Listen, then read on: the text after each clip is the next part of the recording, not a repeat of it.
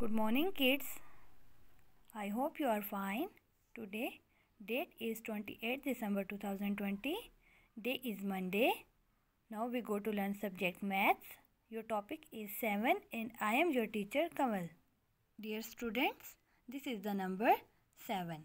First of all, we trace the number 7 like this. Straight line and move down. One more time. Straight line and move down. Okay students, now we observe how many objects in number 7. 1, 2, 3,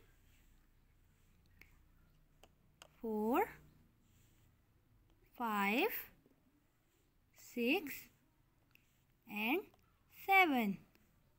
They are seven objects. On this flashcard, there are some, some cards. Now you count with me. One, two, three, four, five, six, and 7. They are 7 red cards. On this flashcard, there are some toys.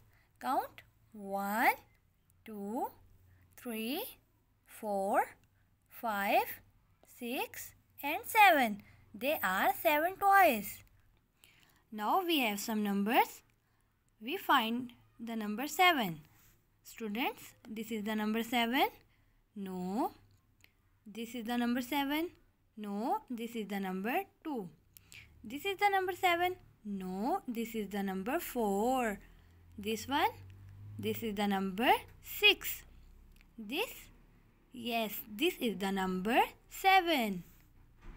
Okay students, we open the book Fun Matrix page number 35. This is the number 7. First of all, we trace the number 7. Then there are some frogs. Now we count how many frogs. Count with me. 1, 2, 3, 4, 5, 6, 7. They are 7. Then we open exercise book of maths page number 24. This is the number 7. We trace the number 7 on this tree. This is the apple tree. We paste